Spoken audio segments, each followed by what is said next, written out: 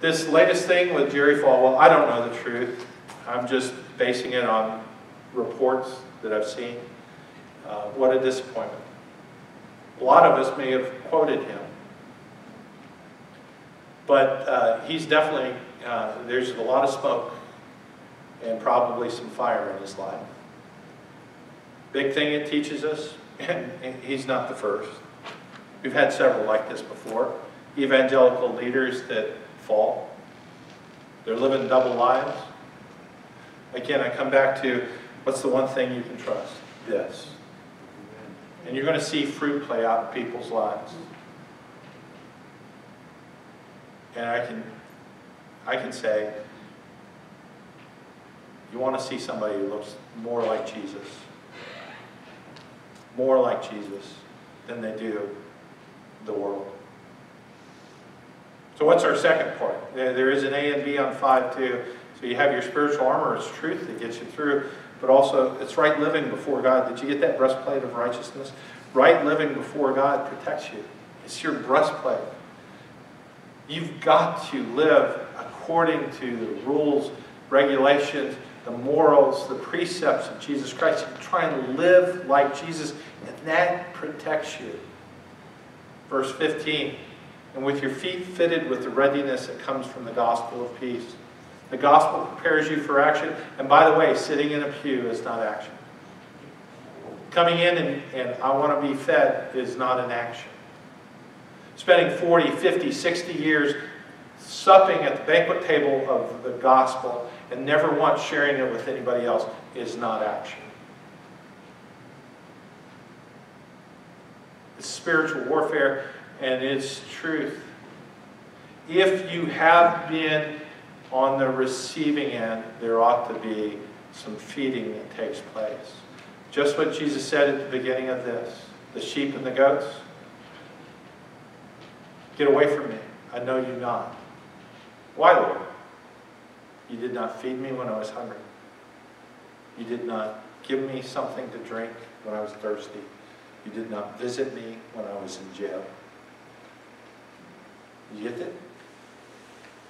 By the way, I, I, mentioned something a few weeks ago. Uh, Gary called me. I think he was traveling to Idaho when I made this mention. But he just saw a uh, news article, and it's about the problem with schools today where uh, kids uh, don't have adequate internet at their home, and so they're pulling up outside uh, fast food joints and they're using the internet in their car outside of fast food joints to try and do their, um, their online learning. There's a thousand kids in this, in this town that are doing that. And they're dealing with Frontier. Now, let me let that sink in. Frontier. Every one of you has cursed Frontier, right? You're lucky, lucky to get six megabytes. We've got 60. I think there's a great opportunity for this congregation to rise up and to address the needs of 1,000 children in our area, have tables, and we could just do our education building right now. But we need people who are going to come and staff it. I can't be here every day. You can.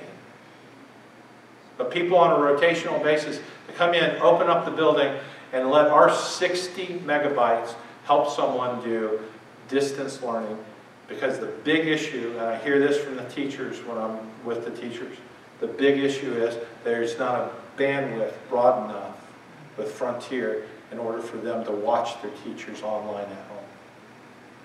We can do it. How much would you give as a congregation to have 20 families show up with their kids on our territory under our influence and do something? Amen. Well, I'm glad you said amen because when I said it a few weeks ago, I got no response. Because it's a spiritual warfare. Amen. Right outside those doors, there are people who are dying every day.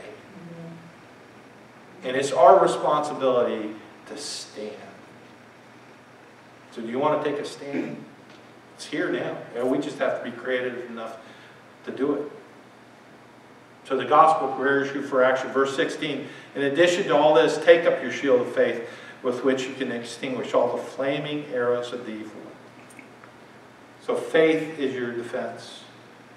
Verse 17, take the helmet of salvation and the sword of the Spirit, which is the Word of God. And surprise, surprise, surprise. Salvation guards you. But did you notice something there? We only now get to our first weapon. Everything else has been protected.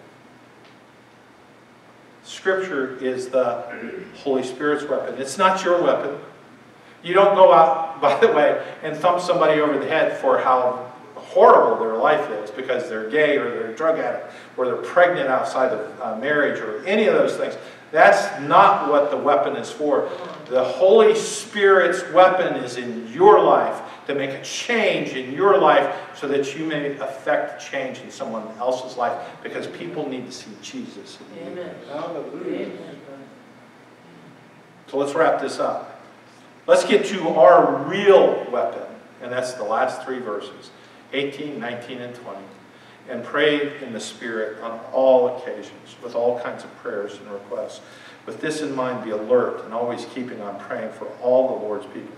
Pray also for me, and whenever I speak, words may be given to me that I will fearlessly make known the mystery of the gospel, for which I am an ambassador in chains. Pray that I may declare it fearlessly as I should. Prayer is your weapon. I am so thankful that right now in the other building, there's three people back there that have been praying for this service. I think one of the changes that we're seeing, because we're seeing growth in this church, and that's not happening in very many churches in the United States right now. But the growth we're seeing is because we are using that weapon and we need to use it more. And by the way, it's the same people who prayed last time, two weeks ago. That's yet another opportunity for service. And it's the greatest weapon we have, prayer. Amen. It is. Pray. Pray without ceasing, Paul tells us. In all things give thanks, for this is the will of God in Christ Jesus concerning you. Why? Because we need to remember to stand. We need to remember that there's a spiritual warfare that's taking place. And the people that annoy me, they're God's battleground. And He's loved them so much that Jesus died on the cross for them. And they might have rainbow hair, they might have tattoos, they might have a bulge in their belly because they did it, uh, they got the cart before the horse. There might be all kinds of issues that's going on, but believe me, that is God's warfare. And we need to be serious about it. And we need to stop condemning people for doing what they're, they're already condemned. We need to bring them to the other side. Amen. Father, I just, I give you thanks. I pray that at this moment, this time, we do heed your word. May we all just strap on our armor every day. May we stand and just be a difference in this world. And Father, when folks annoy us, and for, forgive us for the thoughts we have on the road when we're driving. Forgive us for the thoughts we have in Wally World. Uh, forgive us for just looking at other people as problems, as interference, even as foes. Forgive us. Father, may we see them through your eyes, and may we, may we see them with compassion, as sheep without a shepherd.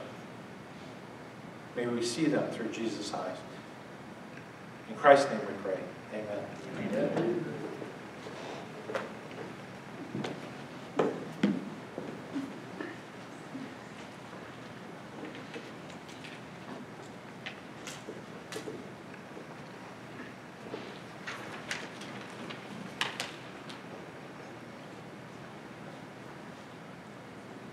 Great message. Um, so we come to this part of the worship. We've got something to celebrate about. Celebrate that God loves us. He loved us so much that he even gave up his son.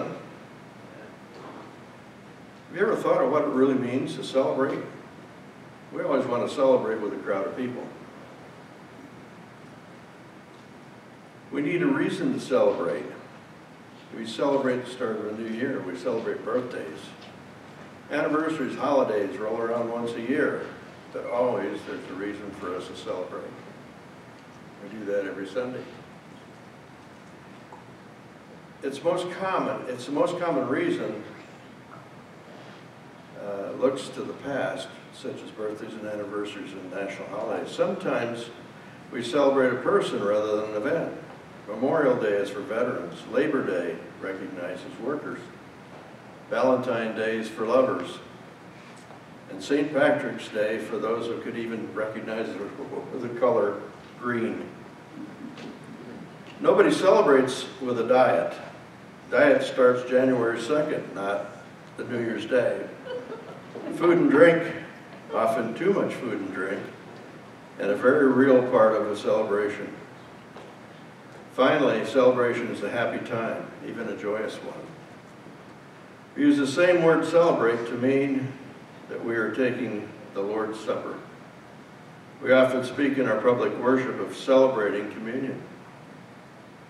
We celebrate the Lord's Supper in a group. It may be a small group, maybe as small as just two people, but that's all that's required because God said He'd be there. We celebrate the Lord's Supper uh, for a reason, the greatest reason in the world. Jesus the Messiah died on the cross so we might have eternal life. And if eternal life is worth celebrating, then nothing is. The reason looks to the past, just like our other celebrations. To a hill at Calvary, it is a greater celebration in that it also looks to the present as we examine ourselves before we take. It's a greater yet, it's greater yet for it looks to the future. Because as we believe as Christians that Jesus is coming back. Some celebrations are for events, some are for persons, others for, uh, are for both.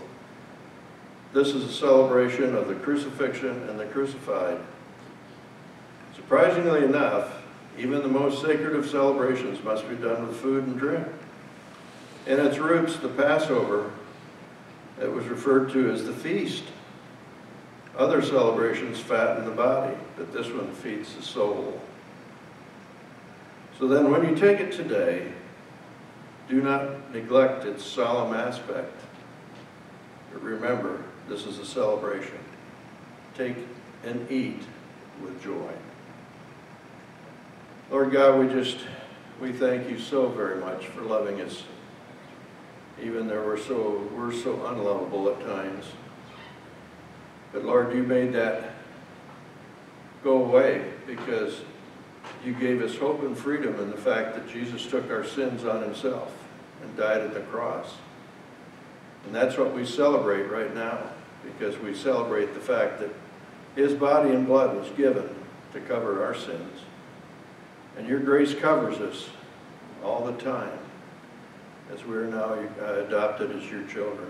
Lord, I just thank you so much for this. And I pray that you'll just build us up by what we're doing. And I pray that we'll each take a look at ourselves and make sure that we're doing the things that, that you need us and want us to do. Pray these things in Jesus' name. Amen.